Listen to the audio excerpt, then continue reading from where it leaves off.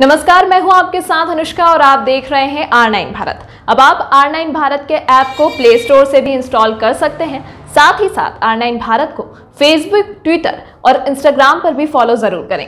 लूड़ी विधायक महेंद्र सिंह बिश्नोई ने जनसभाओं को संबोधित किया। कांग्रेस नेता दिनेश पिंटू, सारस्वत, राजस्थान ब्राह्मण महासभा देहात प्रमुख, महामंत्री, पूर्व उप सरपंच सत्यनारायण पलिवाल श्याम बिश्नोई, पार्षद प्रतिनिधि के साथ कांग्रेस पार्टी के उम्मीदवार, प्रेमा राम चौधरी, किसान गैस पंचायत समिति सदस्य उम्मीदवार, मान महेंद्र बिश्नोई के लिए जनसभा में शामिल हुए। राजीव गांधी कॉलोनी में जनसभा को संबोधित करते हुए मान सिंह बिश्नोई और प्रेमा राम चौधरी के लिए वोट मांगने के साथ ही लूनी विधायक महेंद्र सिंह बिश्नोई और मुख्यमंत्री अशोक गहलोत के विकास कार्य करवाए गए उनको बताया कार्यक्रम में प्रदीप गुजर, मनीष चौधरी पन्ना लाल सैन, चेतन प्रकाश, शेरू, बंशीलाल बिश्नोई आदि सभी उपस्थित रहे और नेता के साथ साथ स्थानीय नागरिकों की भी भीड़ लगी रही। आज हमारे लूणी के लोकप्रिय विधायक महेंद्र सिंह जी के निर्देशों की पालना करते हुए हमने जन संपर्क किया, जिसमें वार्ड नंबर तेईस से मान महेंद्र जी और पेमा राम जी, वार्ड नंबर ग्यारह से इनके लिए जनसभा, राजीव गांधी कोलानी, अशोक वाटिका पास में, जिसमें जनसभा में हम शामिल हुए, जिसमें हमारे पूर्व उप सरपंच सत्यनारायण जी पालीवाल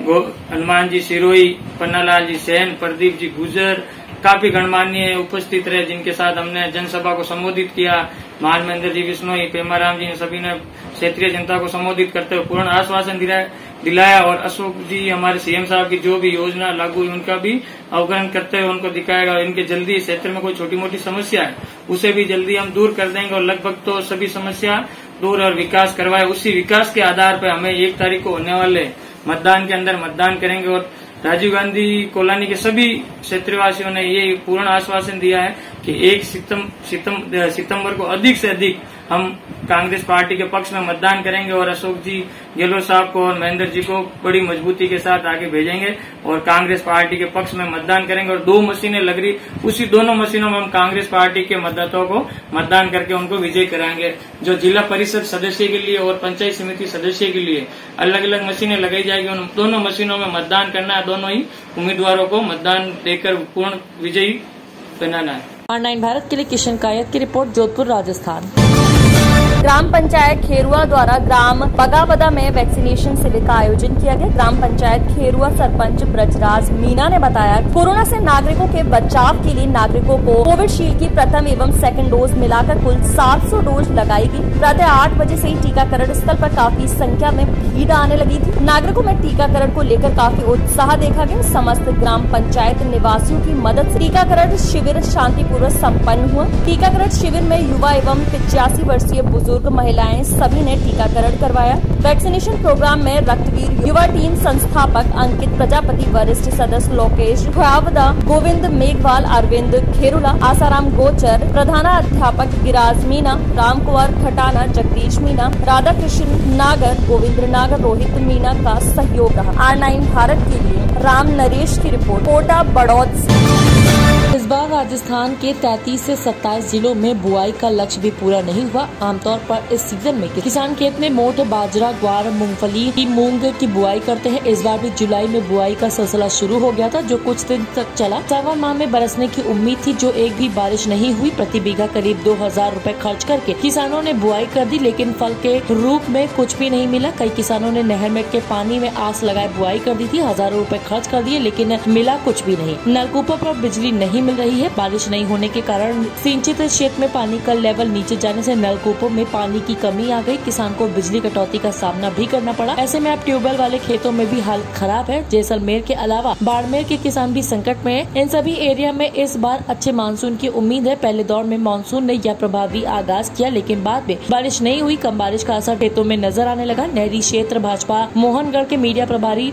जोगराज सिंह राजपुरोहित ने बताया कि जिन खेतों में इस समय हरी भरी फ़सल हुआ करती थी, वहाँ अब राख, फ़सलें अवशेष बचे हुए हैं और कुछ भी नहीं बचा है। नहरी क्षेत्र में बारिश नहीं हुई और नहरी क्षेत्र में पाँच से दस दिनों में नहर का पानी नहीं मिला तो सौ प्रतिशत फ़सल खराब हो जाएगी। पूरे क्षेत्र में कमोबेश ऐसे ही हालत हो रहे हैं, जहाँ पिछले दिनों कुछ पानी मिला है। अब नहरों में कुछ नहीं खाली पड़ा है। किसानों की खेती लगभग नष्ट हो गई है। बीज बोया था। उसी गर्म हवाओं ने पूरा नष्ट कर दिया है। तपती धरती बारिश के इंतज़ार में एक बार फिर बंजर हो गई है। ट्रैक्टर की महँगी बुआई और बीज के पैसे आकाल के भेंट चढ़ गए हैं। किसान के पास कोई चारा नहीं है। दक्षिणी पश्चिमी हवाओं ने पानी गिरने होने के आसार भी खत्म कर दिए हैं। हज़ारों हेक्टेयर ज़मीन में अकाल है। किसानों को अपने परिवार और पशुओं को पेट पालने में बहुत मुश्किल हो रही है। लुर सिंह राजपुरोहित जिला प्रवक्ता भारतीय किसान मोर्चा जैसलमेर का कहना है की जैसलमेर के किसान खेती बाड़ी से दुखी होकर खेत छोड़ने को मजबूर हो गए हैं। रबी 2021 को आंधी उड़ाकर ले गई। सरकार के मंत्री आए और राहुल गांधी की तरह 10 दिन में राहत आपदा सत्ताईस हज़ार का वादा करके चले गए। पाँच महीने हो गए। अभी तक फुटी कौड़ी तक नहीं आई है। लगातार अकाल पड़ रहा है। बीज और बुआई के पैसे भी खर्च करके किसान मरा जा रहा है। एसीसी के लोन से किसानों की फ़सलों का भारी बीमा कट रहा है और क्लेम के नाम पर कुछ भी नहीं है। हमारी सरकार सो हाथ जोड़े विनती है कि जो रबी बीस सौ इक्कीस मार्च रो जो भयंकर रात रो तूफ़ान आयो, वो फसला पूरी तरीके से उड़ गए, किसान बर्बाद हो गया।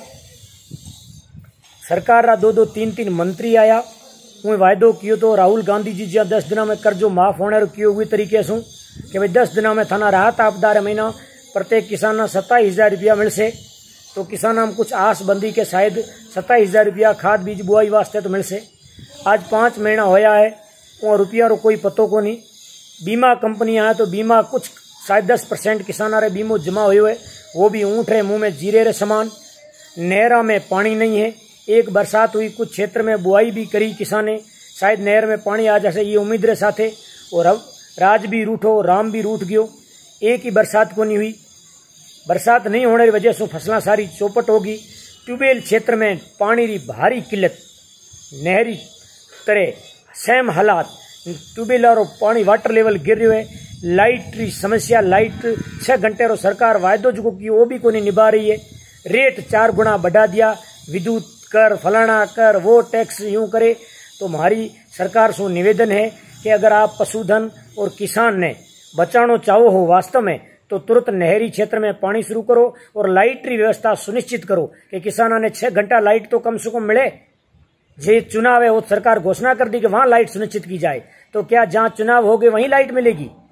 तो मेरी हाथ जोड़ के विनती है कि किसानों को समय पे बिजली और पानी की व्यवस्था कराई जाए तो नहरों में अगर पानी की व्यवस्था होगी, जो कुछ दस परसेंट फ़सलें अभी बच सकती है, और अगर आठ दस दिन बाद पानी नहीं आता है, दस दिन में भी पानी नहीं आता है तो फिर किसान पूरी तरीके से बर्बाद हो चुका है। रबी की फ़सलें आंधी से उठ गई, उससे पहले टीडी चट कर गई, और बाद में जो राहत आपदा के पैसे, वो शायद सरकार चट करने में लगी है। तो मेरा निवेदन है कि कुछ किसानों को राहत आपदा के पैसे जल्द से जल्द दिलाए, बीमा कंपनियों को पाबंद करे, कि किसानों को तुरंत से तुरंत पैसों का भुगतान करें। आर नाइन भारत के लिए स्पेशल रिपोर्ट राजस्थान। नमस्कार, मैं हूँ आपके साथ अनुष्का और आप देख रहे हैं आर नाइन भारत। अब आप आर नाइन भारत के ऐप को प्ले स्टोर से भी इंस्टॉल कर सकते हैं। साथ ही साथ आर नाइन भारत को फेसबुक ट्विटर और इंस्टाग्राम पर भी फॉलो ज़रूर करें।